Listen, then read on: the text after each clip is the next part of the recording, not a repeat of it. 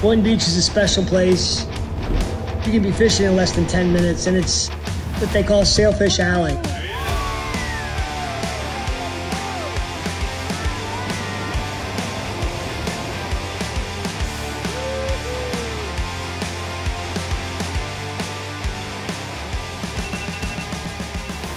My name is Captain Chip Sheehan. I'm from Boynton Beach, Florida. I've been tournament fishing for the last 32 years. I live to catch sailfish. It's something you have to have a passion for. It's something you have to have a love for. There's some people that live for it and there's some people that don't. And when them sailfish come through and there's a north wind and there's a big ground sea and you know they're gonna be tailing, and you know they're gonna be swimming, it doesn't matter what's going on in my life, I'm gonna be out there fishing. You live for that cold front to come through you better drop what you're doing and go fishing because you're gonna miss that one day. Two Georges is about a quarter of a mile down the street here where we'll go load the boat up and bait the boat and go fishing. You never know what's gonna happen every single day. And uh, we do it for the passion and you don't know, you know, what day you're gonna catch a fish of a lifetime or catch you know most sails or what tournament you're going to win or what cool thing you're going to see this is a job I'm feeling you just got to you know take it day by day and work as hard as you can and the money comes and the happiness is there every day. So we'll see what we catch today. They look phenomenal. All right good. Oh there you go. We're already releasing fish. 5.30 we're pulling out a slip. See what today brings. You know, you still live for that day. How many are you going to catch? And is tomorrow going to be a 20 fish day? Tomorrow going to be a 10 fish day? Or break your record of the most you've ever caught?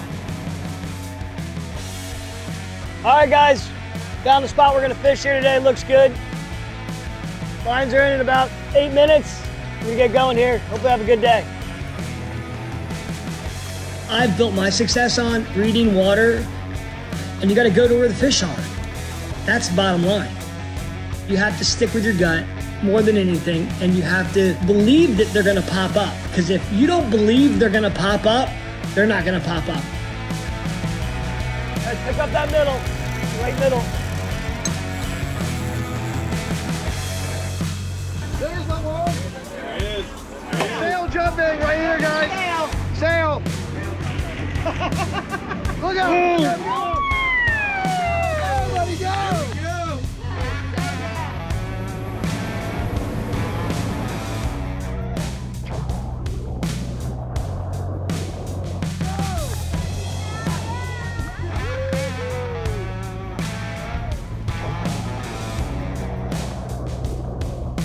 Got him, Eddie? Sail Eddie or what? I would think so, yeah.